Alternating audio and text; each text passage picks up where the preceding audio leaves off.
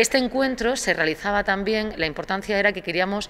eh, complementar con otras actuaciones, otras medidas de mejora eh, que no salen en esta fase adjudicada, pero que las vamos a ejecutar antes de que finalice el año y en el que hemos querido contar con, el respaldo, con el consenso a la hora de llevarlas a cabo. De hecho, algunas de las mejoras se han valorado que son las idóneas y otras las vamos a estudiar en los próximos días para incluso intentar mejorarlas si desde el punto de vista técnico no hay ningún inconveniente en llevarlo a cabo. Por ejemplo, se ha hablado de un badén camuflado que está siendo una experiencia de éxito en otros lugares, como por ejemplo Gijón, y vamos a valorar si en esa zona eh, el informe técnico lo avala o tenemos que seguir apostando por otras medidas de seguridad vial. Yo lo que quiero agradecer es la colaboración de todos para conseguir un objetivo común, que es eh, el de acometer todas las actuaciones necesarias con este proyecto estratégico para el Ayuntamiento. Y también es verdad que me dejaba para el final porque nos lo han servido en bandeja durante la reunión, eh, durante el encuentro de trabajo, hemos tenido muchas peticiones por parte de los trabajadores, de los vecinos y de los comerciantes de la zona en acelerar al máximo las obras que se estaban realizando en la calle Pero Niño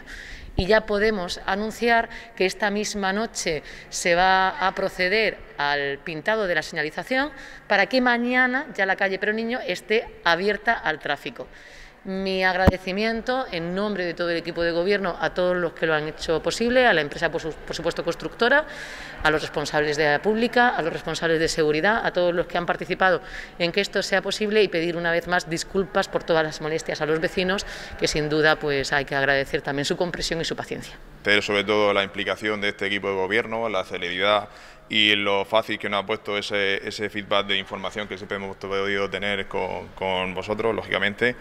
Y bueno, pues esperemos que este proyecto no solamente llegue más allá de, nuestra, de la puerta de nuestra empresa, lógicamente que también todos los ciudadanos de Cartagena, los cartageneros y las cartageneras también se han beneficiado del mismo y entendemos que la línea a seguir hacia esta movilidad sostenible, esta ciudad sostenible que está proyectando, puedo repetir, este equipo de gobierno y todos los integrantes del equipo que, que nos va a dar un gran futuro. Gracias. Eh, agradecer muchísimo el esfuerzo, la celeridad y la eficacia con la que desde el ayuntamiento,